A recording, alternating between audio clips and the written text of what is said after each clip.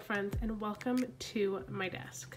Today I wanted to give you a flip through. I have all of the things out right now and we had just finished our first trimester. I wanted to give you a flip through of what's inside this planner. When you open her up, we have the beautiful quotes. I do have a little bit of food water spill on there because, well, I'm always in the kitchen. We homeschool in the kitchen, so it kind of becomes inevitable. My name there. Here I have added birthdays. I did want to add the funny days of like Donut Day and a couple weeks ago it was National Sunday and Daughter Day, but there was just so many I decided not to. And I decided not to repeat it, birthdays on this page. If something comes up like a pregnancy or something like that, I will definitely add it there. Quotes again. And then I have just all the subjects I decided to use this year.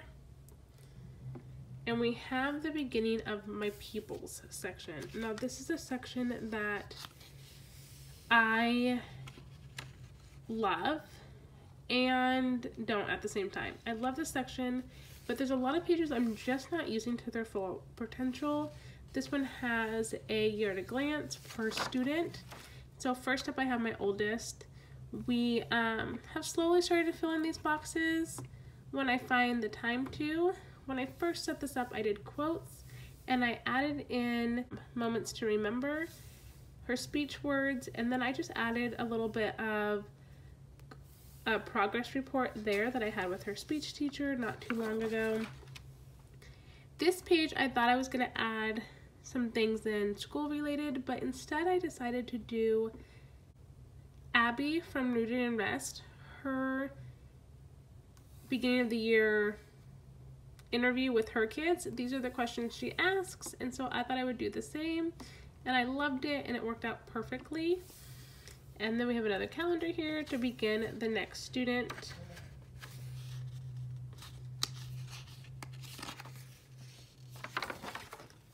We have Austin, and again, we kind of fill these out when we decide to or if something comes up. Then I have quotes for him. He is not in speech. And then I have moments to remember for him. He just built a Lego robot. That was awesome, and I wanted to remember that his answers for what he said for his beginning interview of the year and we just keep doing the same thing. I just, I love this page and all the potential, but we don't keep attendance.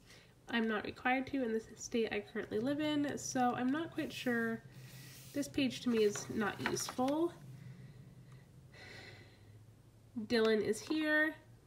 Things to remember, quotes, and she has a lot. You can tell we're ending in the ink and ing and then the G ending sound in her progress from the other day. This is her beginning of the year interview that I absolutely love these questions and I will definitely be doing them every year now. And I don't know if you saw, but I just had put the age of the kid at the start of the school year. Questions. Now, Emerson is my three-year-old. We don't do much. She has a lot of quotes right now that really are just so fun. She says, mm, mm, mm, mm. And to her, for some reason, that means I love you. And then she talks about her age and how she's going to be four soon. And then these were her answers. I love that she said snacks are her yummiest food. And that is so true and fits her personality so much. As we move in, we have map your year section. And in this section, I love, I ended up staying with our week. I write little notes as we like begin or end curriculum when people are in town. I also use this to mark birthdays. And then I also decided to erase if you can't tell some because we were not on track as what I thought we were and so I'm gonna start planning per trimester compared to the whole year and hopefully that will help In the back, I'll show you to where I need to fix a few things. I just marked that it was the end of the trimester. This week, we're going to be home. We were supposed to be on vacation, but decided not to, so we're just going to do minimum work, catch up on a few things, and then we'll take the end of the week off because it is my daughter's birthday. And then I marked other kids and family members' birthdays there. And that goes on for a couple more pages. Now we're in the monthlies. This is what June looked like. This year, I've kept our monthlies quite simple. My mother culture section, I did do our schedule at the beginning of the year and what I kind of wanted to just see what would work and what wouldn't work as well as our book list and I was going to use this section for reading and reading and felt like it just wasn't worth going back to. I may go back to it depending on how I decide to plan the next trimester though. And now we're moving into July. I used a little bit more stickers, so it seems a little bit more full, I feel like, with the stickers. I filled out Mother Culture, and again, like a schedule, just trying to find our groove for the month. I do feel like month to month it has been changing. We read more books. I left that completely blank this month, as well as we did add a few quotes in which I kind of just absolutely love. This is the August month, and I try to use some washi tape. I just have been trying to spend more time in my actual planner and because I do love to be in it and spend time with it. I use this as our six week update and just notes that I wanted to remember, book list, and quotes from those books. We read, we, we read The One and Only Ivan, and it was such a good book. Here is September.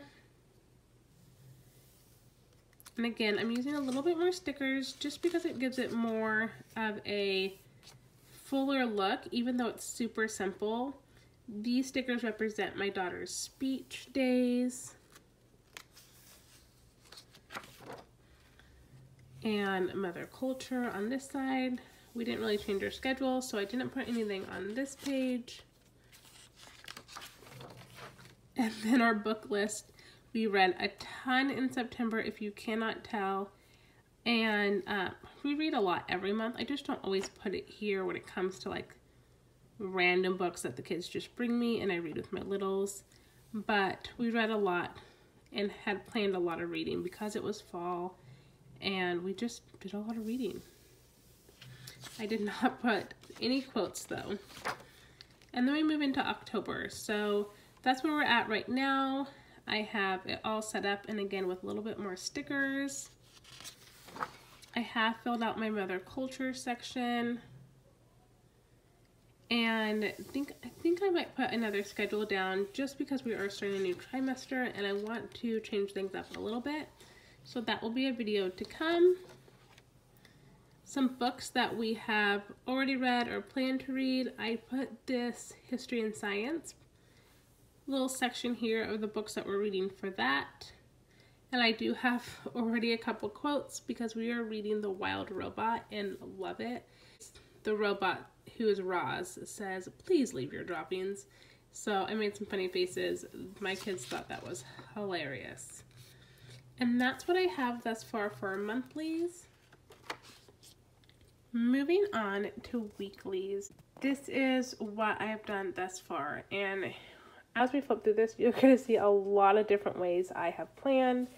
To be quite honest, I am still trying to figure out this layout. So to begin with, we took a very slow start. So this was our week one of school. This was week two. And then I realized I really wanted to work on a character building trait that week. So each week is gonna you'll see something new. And I started with Bible, Jumpstart, Littles, History, and Bigs. my days of the week has been consistent up at the top. Then I sometimes have notes on this side. This week, again, is about the same. A lot of open spots. And then I do not remember why, but we took the first week off. And so you'll just see Wednesday and Thursday here. Next up we have our blessed week. And I do try to remember to put the actual date that is the week. But you can tell I've switched things up. Now I have littles. I put Jumpstart, included our Bible, history and art, and then I have Austin and Lily in their own separate columns, and then I added history for the beginning and then science at the end. Good Choices Week. Now we read a book, um, or we were reading a book. It was a VeggieTale book, and so each it's a different VeggieTale book every week, and so we try to work on a new character trait that that book has in it. This week I have tried to start really mapping out what I want to get done. So these are like my goals for the week. And then we go into the week. I'm back to my littles and my bigs here. I truly haven't figured out my favorite way to use a, this lesson planner. I definitely have been experimenting a lot with it last year I didn't use a lesson planner. The year before I did. And so I'm really just trying to remember what works for me, what doesn't. Many of the days, like this week, I don't know why we didn't have a Thursday and Friday. I have, like, even on this one too, I skipped Friday basically. There's nothing here. I've been trying to do more of a record keeping, but I also need, like, this page I also need, this was last week, my um, goals. And so when I have my goals here, the week is definitely more filled in. And I just need to remember that. So this was the last week we were in this for this semester. And I definitely love the way it turned out and need to remember how I did it, how I set it up, the reasons why, and move forward from there. As we move back into the records section, you can see I still have not done much with the lessons at a glance. I'm really tempted to tear this page out, but I haven't quite decided if I want to yet. We just, I just didn't keep up with it. This was a section that I felt like if I would have planned a little bit better or stuck to my plan in, a, in the beginning of the year, it would have worked out, but I just didn't. We changed too much, and so I'm not quite sure about this, although I have seen people just do it in their like quarters and they highlight it, and I love that idea. So I'm tempted to do that because there, she gives you quite a few of these pages to plan with. So I'm tempted to start new with that. We have a reading list and I did keep that the same. I haven't really added much. I've crossed off the books that my daughter's been reading, as well as my son. He did pick a different book that's not on this list for his read a lot, his independent reading. I'm sorry, um, and so I do need to add that. And then books that I want, which I realize I haven't been using this as well, well either. I just end up adding it to my Amazon cart and it kind of just gets purchased. purchased.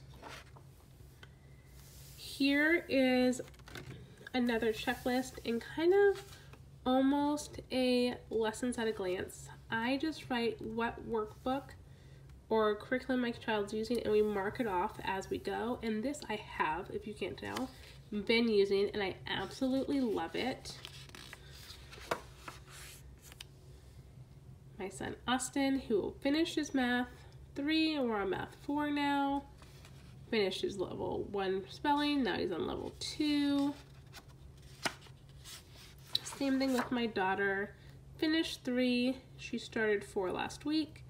and her math. She's moving along in that as well. And there is more checklist if needed for that. We have future curriculum notes, which I I know it's early, y'all, but I have some things to add there. I added this because it goes into passwords and contacts, so I thought I would just save that information as private because it is. And then this page in the back is also a tracker page. And I have not used that one, but I love the option that it's there. Then it goes into the notes section and she gives you a table of contents. For this, I just filled out kind of like my vision board. My word this year is consistency. And I feel like we have been and we haven't been all at the same time. I don't even know quite how to explain it. But then on the back, I added some Bible verses we've been memorizing, and I will add to that throughout the year, as well as the curriculum we are using for this school year. I have some fun Friday ideas, and I haven't filled out the rest of the note section. And that is my planner flip through for the first trimester of the 2020-2021 school year.